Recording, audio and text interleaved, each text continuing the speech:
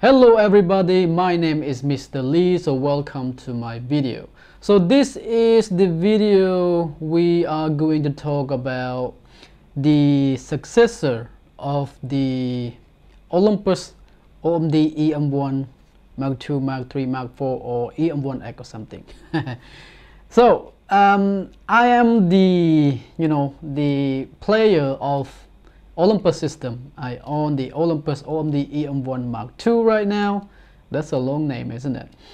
And also I own a couple of lens, you know. I got the 12 to 60 Pro from Olympus. And also I got the 25 millimeters f1.4. It is for micro four third, but you know, it's from um, Panasonic. So this new here it's a brand new camera from Olympus. Well, let's say Olympus.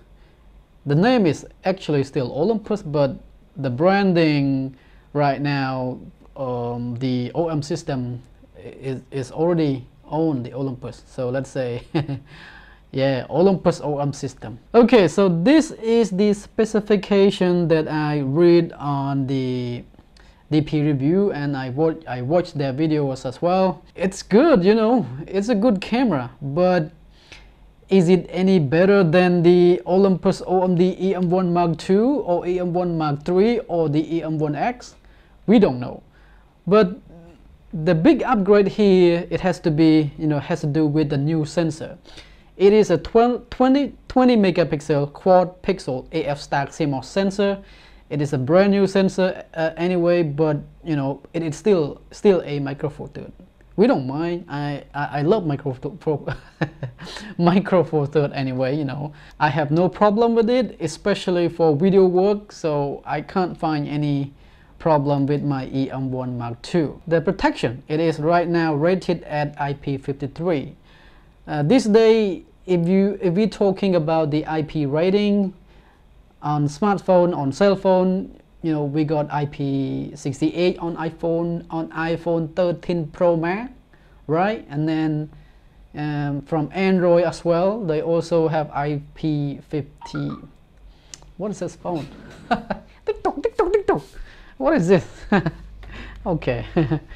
All right. Um, this is the Huawei P50 Pro you know the flagship phone from Huawei it's also packed with IP53 no no no IP68 water and dust resistant. So we got updated in terms of weather sealing and also right now it is 1053x all of them are cross type. That's pretty good right? But to be honest guy um, I own the Olympus OMD EM1 Mark II I have no problem with autofocus. No matter what condition I am at, you know, video or photo, it is fast and reliable. I can trust it, you know. It's just very good autofocus in terms of continue AF something like this. Well, man, I, I have no complaint. Well, if we are from 1DX or something, I don't know, you know. But personally, I own this camera. It's, it, it just got me every single time I use it. Blackout free shooting up to 50 FPS with AF and E. Oh my god. This is a lot, you know, 50 FPS with AF and, you know, auto exposure as well. We can do sport with it, no problem, no, no sorry, English is not my own language anyway. Don't judge me on my speaking, right? But I hope you can understand it. The image stabilization is also good right now, you know, and also I already have amazing image stabilization on this you know fucking camera. It's just so good if you are vlogging. It almost like gimbal like you know I have no complaint with it. Again you know is this a big improvement? I don't know but it, it is already good here. And it is 4K UHD it is already here as well but except 60 FPS of course. Here here's the deal. 10 bit I wish I can shoot 10 bit on this camera no matter what it uh, you know externally or internally. But it can't do that on the Olympus OMD EM1 Mark II it's only 8 bit. So if this is 10 bit is it externally or internally? I don't know. You guys let me know. 1080p capture up to 200 fps in 1080p yes that sounds good you know. We can do some slow motion. Twin UFF uh, UHS2 card slot. Um, I got one. This one only got one um, of course it is two two card slot but one of them is compatible with you know UHS2 only one slot. But I don't mind that you know. I don't mind that. This day we can get cheaper card and I can record 4k video with this with this camera. You know no matter what on the faster card or the slower card I still can get I still can record 4k video. And this camera will be available early March 2022 the price is at $2,199 for the body alone.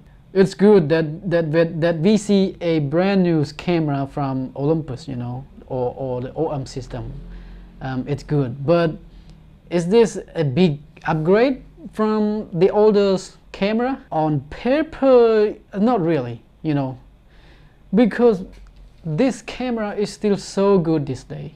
You know, the Olympus OMD EM1 Mark II, 4K video, 30 FPS, you know, 1080p video 60 fps amazing image stabilization. Amazing autofocus the menu system is amazing. The build and the handling is just so good on this camera. And what about the picture quality or the video quality alone? Is it a big improvement? We don't know. We don't know really because it's not out yet. And there is an improvement I believe maybe a little bit but is it enough to upgrade because we can get this camera right now below 1000 in my country. You know in my country you can get it below $1,000 let's say 950 999 and that half of the price of this camera half of the price of the OM system right? OM1 and you still on Micro Four Third well I, I don't want to talk about Micro Four Third or something. I, I just said I'm okay with Micro Four Third but anyway it is what it is. Let's see. Uh, one thing that I complain on this camera is has to do with the Wi-Fi.